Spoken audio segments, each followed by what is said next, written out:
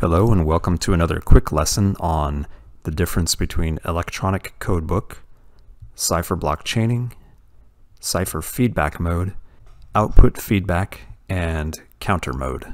So these are block cipher modes, and that basically just means that these are encrypted in blocks, and they could be any different number of sizes. The first one that we're going to go over is electronic codebook. Now electronic codebook is intended for short messages, and you'll see why here in just a second. The way it works is we take our first block of data. Let's assume, I think it's 64-bit. That's what it says in the book anyway. And we're going to basically run it through our algorithm with a key. And the reason it's called electronic codebook is because it's very simple. They like to compare it to a book, an actual book, where you would look things up, like uh, say row 13, word 6, and your key would be starting on page 10. And your key could be anything. Let's say it'd be start on page 11 or 12 or 13, and then you'd go to this row and that, that word, and that would give you your ciphertext. The problem with this is that there's no initialization vector, which means there's not enough randomness, which is what makes it good for short messages only.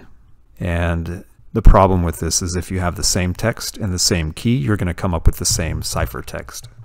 With cipher block chaining, we have a couple different elements added into this formula. So just for the sake of simplicity, let's say this is our plain text here. This is our message. And this is our next block of data. So we're going to take it and we're going to get our initialization vector. It's a random value. And I like to think of this as just like another key. If you're new to this concept, it really is just another random value. And so we're going to run that through our encryption algorithm. We're going to run that through our cipher with a random key to get our ciphertext. And so what happens here, and there's a little bit of conflicting information out there. so I'm going to go with what the official ISC squared book says on this, which is where the ciphertext, it's going to be XORed against the bits of, of our next block of data. So, you know, this is, this is really just going to be bits, ones and zeros. And so it's going to compare the two and if you're not familiar with it, what an XOR function is, it's basically where you compare the two values. And if they're the same, it yields a zero as a new value. And if they're different, it yields a one as a new value. So it's just, just a way of scrambling it. And with cipher block chaining, if you have the same text and the same key, you're going to get different ciphertext for each block. For the stream mode, they call it stream mode. It's not actually a stream cipher, but it simulates a stream. So if you remember what a stream cipher is, it encrypts bit by bit, and uh, that's my pathetic representation of a stream cipher. So with cipher feedback mode, you're going to start with your random initial initialization vector, and you're going to encrypt the initialization vector. So you're going to come up with this random value, and then you're going to encrypt it with your key, and then it's going to come up with this ciphertext. So your ciphertext is going to be XORed against the block of data from your message. And again, so that's going to compare the two, and I think I did I actually did the XOR on these. And I believe with cipher feedback, it's, it's the first eight bits. And it's going to come up with this new ciphertext here. so then what happens here is you have the shift register. And what this does, I don't know exactly how this works, but basically this is going to scramble up the numbers. So it's going to shift them around to give you a new initialization vector. I think it divides this, so it takes some of these and then it shifts them around and adds them to the new initialization vector.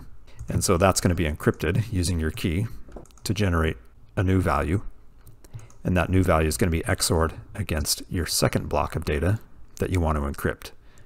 And so the XOR function again is going to yield new ciphertext for that block, and so on and so forth. With output feedback mode, you're going to come up with an initialization vector, not you, but the algorithm, and it's going to encrypt it using a key to come up with some ciphertext. And then this ciphertext is instantly going to be your new initialization vector for the next one. So just hold on to that idea for now. You haven't encrypted any of your original message yet. So you're going to XOR that encrypted initialization vector against the first block of data. And that's going to give you your ciphertext here. So your second block of data, basically you're taking this encrypted initialization vector and that's instantly your new initialization vector for the next block of data. That initialization vector is going to be encrypted again through the same method, and then it's going to give you this ciphertext. Now it's the same here, but it wouldn't, it wouldn't be the same. This is just for illustration purposes.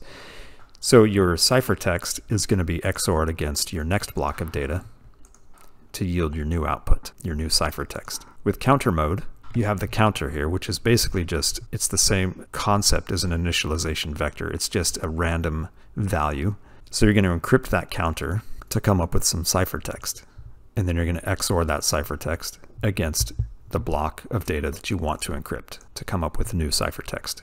And then what's going to happen is this counter is just going to go up by a value. It's either going to be one or it's going to be just a number here. So we don't necessarily know what that is. It's just going to be based on whatever the whatever the algorithm tells it to do, right? So you're going to encrypt this new counter and you're going to come up with new ciphertext that will be XORed against the next block of data to come up with your ciphertext. So here's a little table that kind of shows the differences between all these modes, electronic codebook, cipher, blockchaining, cipher feedback, output feedback, and counter mode.